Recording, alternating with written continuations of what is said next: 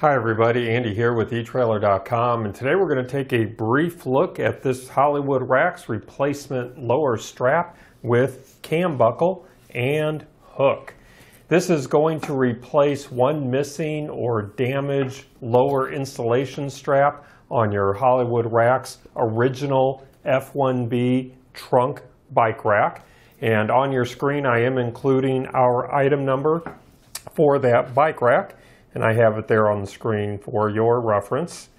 Now, as you no doubt know, your bike rack originally came with two of these straps. And this is going to include everything that you see here on the table before me. You're going to get one strap, and by the way, this strap is about 67 inches long.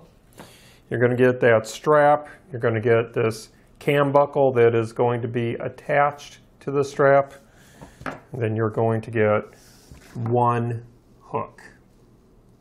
And this hook has a, a coating on it to prevent it from scratching up your car, your bike, or your rack.